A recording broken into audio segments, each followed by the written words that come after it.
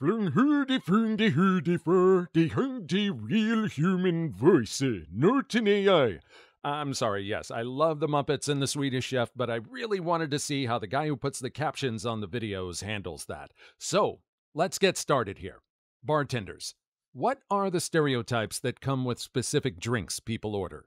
Story 1. Lessie here. I received this in an email with too many forwards to count in June of 2007. See for yourself if it's still accurate. Bartender psychology. Before you order a drink in public, you should read this. Seven New York City bartenders were asked if they could nail a woman's personality based on what she drinks. Though interviewed separately, they concurred on almost all counts. The results drink, drink. Personality, casual, low maintenance, down to earth. Your approach, challenge her to a game of pool. Drink, blender drinks. Personality, flaky, whiny, annoying, a pain in the. Your approach, avoid her, unless you want to be her cabana boy. Drink, Mixed drinks. Personality. Older, more refined. High maintenance. Has very picky taste. Knows exactly what she wants. Your approach. You won't have to approach her. If she's interested, she'll send you a drink. Drink. Wine. Except white Zinfandel. Personality. Conservative and classy. Sophisticated, yet giggles. Your approach? Tell her you love to travel and spend quiet evenings with friends. Drink. White Zinfandel. Personality? Easy. Thinks she's classy and sophisticated, actually has no clue. Your approach? Make her feel smarter than she is. This should be an easy target. Drink. Shots. Personality. Likes to hang with frat boy pals and looking to get totally wasted and naked. Your approach? Easiest hit in the joint. You have been blessed. Nothing to do but wait. However, be careful not to make her mad. Drink? Tequila. No explanations required. Everyone just knows what happens there. Then there is the male addendum. The deal with guys is, as always, very simple and clear cut. Domestic drink, he's poor and wants to get laid. Imported drink, he likes good drink and wants to get laid. Wine, he's hoping that the wine will give him a sophisticated image to help him get laid. Whiskey, he doesn't give a about anything but getting laid. Tequila, He's thinking he has a chance with the toothless waitress. White Zinfandel, he's gay. Not a bad list there.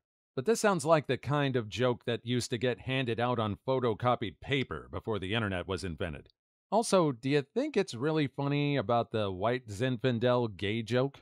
Is it really a punchline anymore when we call being gay something to laugh at? I'm not sure if that really flies anymore. Story 2 I tended bar at a crazy, pretty busy beachfront in Florida for three years. The following stereotypes are based upon my experience, as well as the particular demographics that frequented the establishment. White chicks? Alcohol, any brand, including well, with seltzer or water and plenty of lime wedges, tequila shots, flavorful shots, oatmeal cookies, strawberry starburst, gummy bear, etc., red and white wine, change for a $20 bill for the cigarette vending machine. Black chicks? Margarita, regular or frozen, with plenty of salt on the glass rim. Strawberry daiquiri, pina colada, Miami Vice, half strawberry daiquiri and half pina colada. Long Island iced tea, Malibu and Coke, Malibu Bay Breeze, White Zinfandel. Not likely to down shots. Note, an issue I often experienced was the request for light ice in the glass, which is no problem. But the customer also wanted the glass filled to the rim. The amount of alcohol I was pouring was the same in either case, and absent ice cubes meant that more mixer, sour mix, soda, or juice would be added to the drink, effectively weakening it, which would quite often result in the I can't taste any alcohol in this drink complaint. White dudes? Drink? Lots of it, any brand. Jack and Coke, alcohol, any brand, and Red Bull, fireball shots, Irish car bombs, etc. Really, nearly any type of shot. Note an exception to this is the overly tanned, tightly muscled UFC watching crowd. Alcohol and cranberry with lime wedge. Kinda strange, but true. Black dudes. Hennessy and Coke or Red Bull, Remy Martin and Coke, Long Island iced tea, Blue Long Island iced tea, Grateful Dead, version of Long Island iced tea, Grey Goose or Ciroc and Red Bull or Coke. Not really a shot downing type of crowd. Tourists of any ilk. Bahama Mama, Planter's Punch, Mai Tai, I used the exact same recipe to make all of these cocktails, but no one ever complained. The non mixologist type bartender's credo when in doubt, make it red, then send it out really works. College kids, spring break, anything, everything. This one seems a little more like it's coming from experience. It's not just one or two drinks per type of person. It's sort of like you get a whole family of alcohol or certain types of drinks. The spring break college kids, I totally believe that they will just drink anything that's presented to them. Story 3. Yes, I have a note created on the slowest of days saved in the deep reaches of my phone for just this question What your drink says about you. Alcohol, soda. Friend. My friends are ready, but I'm not. Rum and Coke. Male. My friends are ready, but I'm not. Gin and tonic. It's good enough for my grandma. Seven and seven. I or female, my dad was in the war. Tequila and soda. I want to be an Instagram model. Margarita. I want a cocktail, but I don't. V Martini. I'm a fancy wasted. With ice on the side. I'm a cheap wasted too. G Martini. I only drink farm to table spirits. IPA. I think I have a developed palate. Like drink. This is the only thing in my fridge. Bourbon shot. It's been a rough day. Alcohol shot. It's been a rough month. Tequila shot. I don't work tomorrow. Jaeger shot. I don't work. Cosmopolitan. I binge watch in the city. Manhattan. I binge watch Mad Men. Old fashioned. I want the huge cube to show off. Top old fashioned. I want to impress my date. Chartreuse soda. I make my own bitters. Fernet and Coke. I spent a year in Europe. House red. You don't have my favorite red, so I'll take the cheapest one. House white. I have to go pick up my Xanax prescription later. Mimosa. Day wasted is my normal. Bloody Mary. All day wasted is my normal. Alcohol on the rocks. Do you have Stoli? Alcohol and Red Bull. I want to make a lot of decisions today. Stella. What do you have on tap? White Russian. No, I don't want coffee. Lemon drop. I only care about the alcohol when I know what it is. This one reminds me of number one, like it's another one of those photocopied, passed around lists of jokes pre internet. For some reason, this one seems a little more legitimate than the first one. I gotta admit, when I drank, I did a lot of gin and tonic, but I also put in a lot of lemon and lime, so it was almost kind of like a soda. I don't know where I fit on the list there, but you know, there you go. Story 4 I bartend on occasion. I don't really stereotype what you order so much as when you order. You need to realize as much as you may think it's first come, first serve, it's not. It's drinks per hour. You want a mojito or anything that takes a bit of time to make? Try not to order it when I have six other people ordering. I will put you to the back of the line. You'll see those six people likely to get their rum and coke, whiskey neat, drink, and Jaeger bombs before I even start on your mojito. My job is to make the most customers happy. If those six people have to wait two minutes while I get out the mint sprigs, muddle them properly, add more lime and sugar, let it soak for a second, muddle again, add the ice and rum, stir, add the club soda, re-stir, garnish, and serve, they're not going to be happy. If you have to wait two minutes while I get all the rest of the easy drinks done, you're not going to be happy. So I can either annoy one person or I can annoy six people. Sorry, man, my job is to sling the most drinks I can. Now, sure, if it's a constant rush, I won't keep bumping you to the back of the line. I'll probably make yours while taking other orders, but you're not going to get my undivided attention if you order a high maintenance drink during a rush. Story 5 The Nice People. Ones who look around the bar really quick to see how busy I am before ordering something that needs to be muddled, blended, requires more than five ingredients. I want to shout for joy when someone is like, I'll have a mojito. Actually, this place is super busy. Just a gin and tonic, thanks. Nuts to the group of 10 who all want daiquiris with extra fruit mixed in. A strawberry daiquiri with a handful of blueberries, and how dare you forget which one of us specified this during happy hour rush. Edit. Not saying you should never order a fancy drink again. I love mojitos myself. I just mean that it feels wonderful to have someone in the mass of people waving their hands and snapping their fingers at you, asking why you haven't made their drink with extra but not, gently stirred with a slight bow in their direction of France, just say, hey, you know, maybe I'll just have something simple, no rush. Though, no apologies for people who come into my small dive bar and want a cocktail they found on Pinterest. Story 6. My city has a very fancy and, to be fair, very good gin bar in it, which stocks around 500 gins and has become a huge destination for hipster tourists and gin obsessed mums. Used to be, people coming to my bar would ask for a gin and tonic. Now, people coming to my bar ask what gins we have and make me explain every ingredient and the philosophy behind every damn one before deciding. So, the stereotype in my city is you're either asking about gin, which means you're a tourist or Instagram nerd, or you're complaining about everyone in front of you asking about gin, in which case you're a local few weeks back, a dude was second in line for 10 full minutes before the lady in front of him wanted the entire history of East London Batch 2, and he spent the whole time pulling faces at me over her shoulder. Moment he gets to the bar, the only thing he says is, Gin Bar has a lot to answer for. Give me a drink. I don't know if this one is so much about the people ordering drinks as it is the establishments.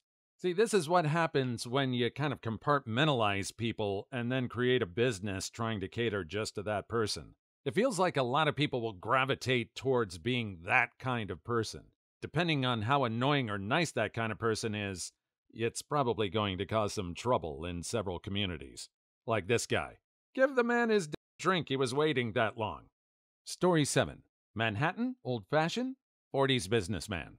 Negroni, hipster 20 something. Cosmo Bellini, 20 year old girl that asks for something girly. Anything blended.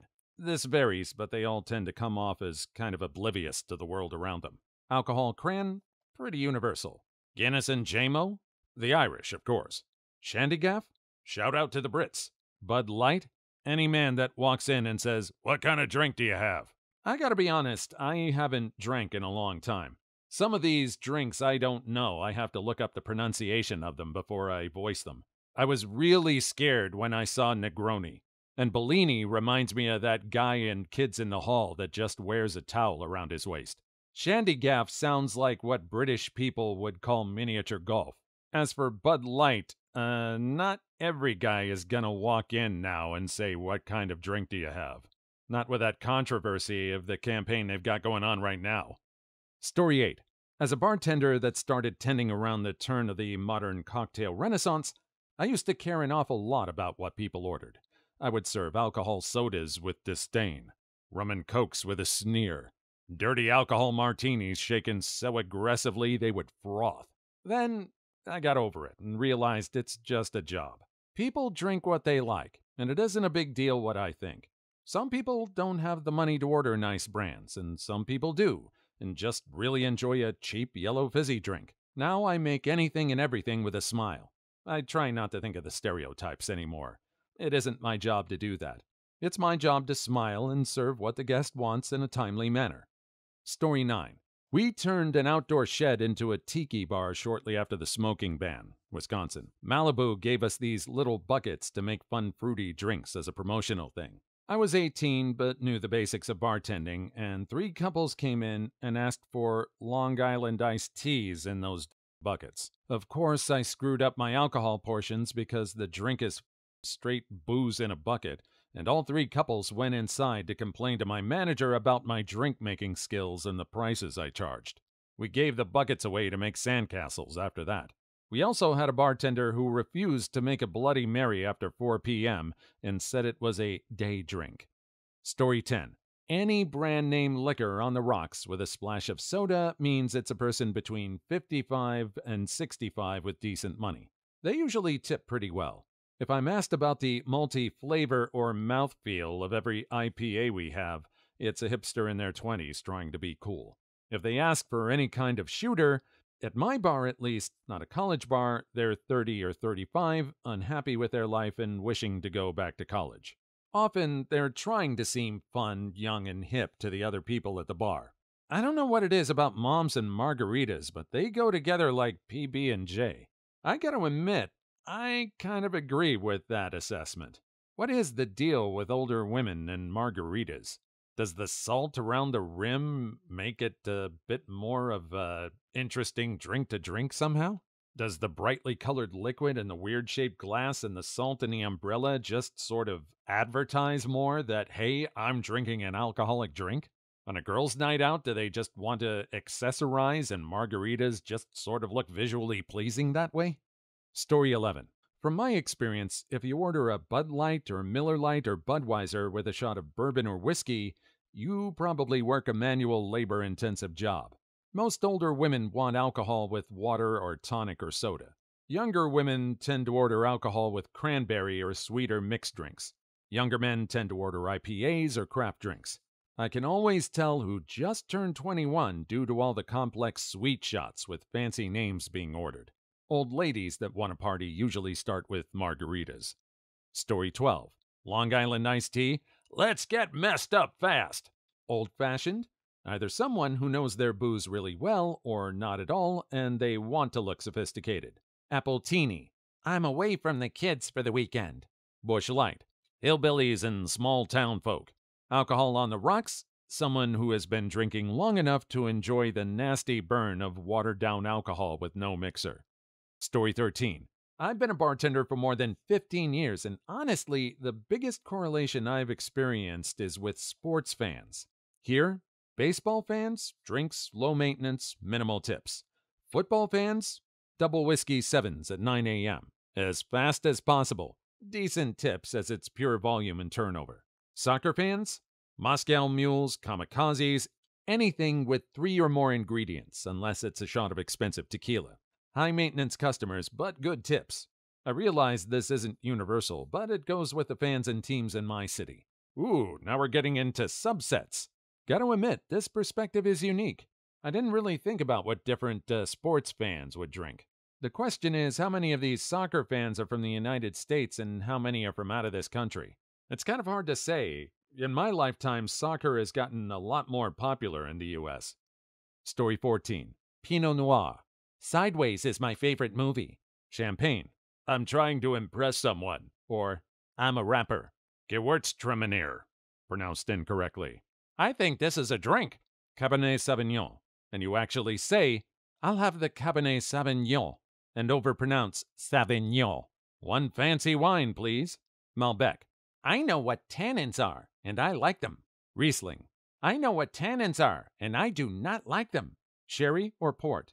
I'm an 80 year old woman who could kick your. Story 15. From my experience, if you order a Bud Light or Miller Lite or Bud. Wait, wait, didn't I read this story before? Yeah, I did. They listed the same story twice. All right, ah, moving on. Story 16. Tom Collins. Just turned 21. What's the cheapest drink you have? No tip. Give me two shots of tequila. Has no idea how many options there are to this request. Requests Hpnotiq? Adult entertainer of some flavor. Requests a daiquiri? Clearly lost. I work in a country bar. Amaretto and sour? Just turned 22. A group of girls ordering lemon drops? We'll all pay separately with credit cards and not tip. Please like and subscribe if you've made it this far. I hope you'll enjoy the rest of the video and have a wonderful day. Story 17. Used to be a bartender in a pub in London. Typical pub, you're selling a lot of drinks, the odd cider or glass of wine. There was a local gangster type that even the other hard bastards in the pub used to be wary of. Friendly enough guy, but definitely not someone anyone wanted to be on the wrong side of. He drank nothing but bright pink watermelon Bacardi breezers. Taught me not to judge. Story 18. Tended bar at a pan-tropical bistro when I was in graduate school. Naturally, we had a few pre blended fruity frozen drinks, which were typically served in a hurricane glass, with garnishes. One evening, a very manly man ordered one, but requested that it not be served in a yeah, there's that F word, I'm not saying that a fruity glass. Apparently, real men drink their mango mambos in proper old fashioned glasses. See, this is kind of why I didn't want to make that joke at the very top of story one there's still too many people that view homosexual activity as less than, like it's less than normal. On the lighter side, it reminds me of that Kids in the Hall skit, uh, Girl Drink Drunk. That skit I thought was funny because it more focused on how outrageous these drinks look. Like they're put in these ridiculously overbearing glasses or coconut halves or a tiki shaped uh, vessel or something like that. Oh, yeah, and the craziest of crazy straws.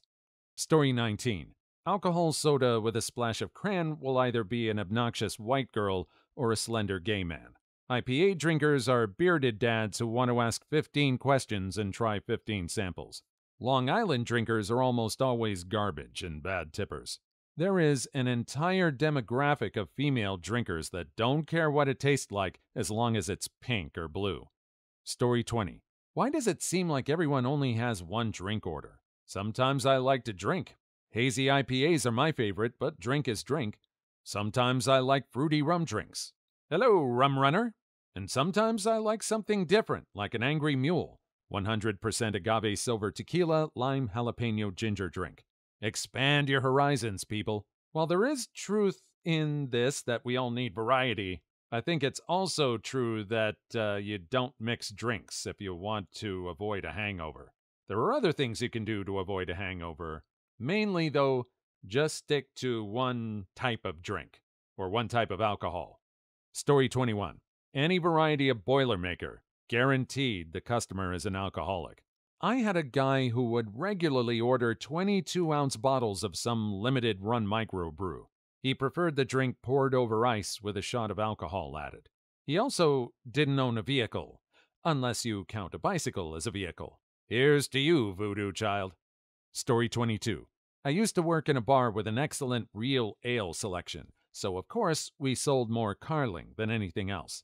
Always Pillix who would shout at the football while tearing up the car drinks mats that I had to clean at the end of the night. Some would complain that we didn't sell enough real drink, too. Them. Story 23. If you're an alcohol drinker and you demand obscure, expensive alcohol for the clean flavor, you're a victim of marketing. You don't like alcohol. You don't like alcohol, you like alcohol, which is fine, but pretending like there's a difference between Grey Goose and Pinnacle is one of the lower aspects of my job. One of the reasons I stopped drinking is I just couldn't get past the taste of most drinks. Maybe it's just because I have more of a sweet tooth. Again, that's the reason why my gin and tonics were always loaded up with lemon and lime. And I hate beer. I don't get why anyone likes beer. Story 24. Question for bartenders Do you judge people who order soft drinks? I usually end up being the driver, but feel as though I'm getting judged by the staff or customers at the bar for ordering a Coke rather than a drink or something alcoholic. Even more so at a proper club rather than a regular bar. Story 25. Martini. Shaken, not stirred. Idiot who knows nothing about booze and definitely has no idea what they're ordering, and will most likely not like it. That said, I'm pretty tolerant of most drinks orders. People are allowed to like what they like, even if I don't share the same taste. Story 26. Anyone who orders a drink and says, make it strong, means that they aren't going to tip. No, I will not give you free booze. This is how I make my living. I always ask if they want to order and therefore pay for a double. The answer is always no. You can write off, good sir. Story 27. We had a bar nearby that would guess your drink. Basically, the bartender would profile you and try to figure out what you would order. He would write it down on the drink napkin thing and turn it over after you ordered. If he got it wrong, you got a tiny discount. It was good fun. I like that idea. That sounds like a fun place. If they're giving out tiny discounts, he must not guess a lot. Story 28 Long Island Iced Tea. Usually, someone who wants to get wasted for cheap is going to complain that the drink is not strong enough. Life pro tip for bartenders before serving, fill the straw with tequila. You will never get another complaint about a weak Long Island iced tea. Story 29. When a customer orders a fireball for himself, a Coke for his young friend, some BJ shots for the two ladies with their boyfriends across the bar, and two cosmopolitans for their boyfriends, a cool bar fight is about to start. That sounds just a bit too specific. Did that actually happen? Or is this a reference to a movie or a TV show I'm not aware of? And my sympathies for any bartender who gets some guff from the boyfriend because they adopt a unalive the messenger type of attitude. Story 30. Can you make me something fruity? AKA, I'm pure amateur hour. May send this back for being too strong. We'll probably make out with that creepy regular that drinks Bud Light drafts on the dance floor after one cocktail and a woo woo. Story 31. Hi, can I get a cherry alcohol sour, but like make it for a wuss whose friends made her come out and doesn't like the way alcohol tastes? Does it fit the stereotype of a person who doesn't belong here and should just go home? Because I agree 100%. Story 32. AMF. You're a college kid whose sole purpose is to throw up on yourself by the end of the night and not tip a single bartender. Women that drink bourbon on the rocks have low moral standards. Easy picking, but don't stay too long. Train wreck incoming. Okay, I had to look up what an AMF is. Obviously, I can't pronounce the entire name of the drink, but everything that goes into it? The drink is aptly named. Story 33. Just make me something yummy. An early 20s girl that's going to flirt with me and everyone else in the bar and get carried out by 10 p.m. I'm a bartender, not a chef. Just order a drink, Tiffany. Story 34. One Caucasian, please. Neckbeard Fedora dude ordered about 10 white Russians from me one night and called them Caucasians every time while chuckling to himself every time he came to the bar. Story 35. Obligatory, not a bartender. But once in New York City, I overheard a dude ordering a seven C's. Turns out it's a splash of the first seven things the bartender sees. Yep, instantly judged as an alcoholic. Story 36 Vegas bombs. Either having a great time and one guy is flexing cash with a bunch of friends will tip well, or bag flexing cash around random people he barely knows will not tip well. I lived in Vegas for a few years. I don't know if I ever heard of Vegas bombs. That sort of implies that there are other bombs. Los Angeles bombs, Palm Springs bombs, Portland bombs. They're probably not the same. Story 37. Pink drink? No, I can't drink this. Too gay. I'm not gay. I work at Harpoon in Boston, and there really still are some people too afraid of being emasculated because of the color of drink they drink. Story 38. If you pull up a drink you found on Pinterest and it has 25 steps and is more pretty than tasty, I can tell you're already a future, I want to speak to the manager type of mom. Story 39. I usually go up to the bartender and order a Coke, but make it look like an alcoholic drink. I don't drink. Bartender usually understands my plight. Thank you for letting me fit in. I've never thought of that. I gotta try that out. I don't drink, but I go out to places and people always stare when I order just a Coke. That would be a great way to be able to fit in. If the bartender takes the time to do this so I fit in, I will tip. Story 40. Man, I feel like the complement to this question is what we're really after. Bartenders, what can we order that doesn't disappoint you and won't make you judge us? Story 41. Not many people talk about wine. Chardonnay, I'm a lady over 35 and I don't like change. Moscato Prosecco?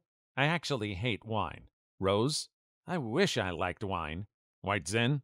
Cougar. Story 42. Looks like this has turned into Ask Bartenders What Your Drink Says About You. I like mudslides with amaretto instead of Kahlua because I hate coffee. I'm female. Story 43. They want an expensive cocktail, and when you tell the price, they start arguing with you that it's way too expensive and that they can make it at home for half the price. Well, then make it at home for half the price. You're in a familiar place, you won't get hit on by creepy dudes, and when you pass out, you know you're in a safe place. Sounds like a win win for you. Story 44. Long Island iced teas rarely get tips and are almost always asked to make it strong. It's nearly an entire cup of liquor. How the hell am I supposed to make it stronger? Story 45. The woman who ordered a lemon drop is the only person to this day who has screamed at me at work, so I'll say that's a drink for high maintenance. Story 46. Guessing from the reactions I get when I order an old fashioned, people expect those who drink it to either be old or a fan of Mad Men. I'm neither. Story 47. Alcohol Red Bull usually a bit of a jerk and on some kind of pharmaceuticals. On the bright side, they tip well because they're too off their gourd to care about getting change. Story 48 Alcohol soda. You're on a diet. Margarita? You're a pain in my. Scotch and water? You're over 50 with heart issues. Orange juice? You're gonna tip me a quarter. Story 49 If you order Old Spanish, you probably have some government job and nickname like Cooderburger that you hate, but don't stand up for yourself about. Story 50 Fireball mixed with soda. Had a bartender tell me at a wedding, Oh, great, you're one of those people. What did he mean? Because I'm still a bar novice. Please leave your story in the comments. I would love to make a video on them in the future. Also, don't forget to like and subscribe.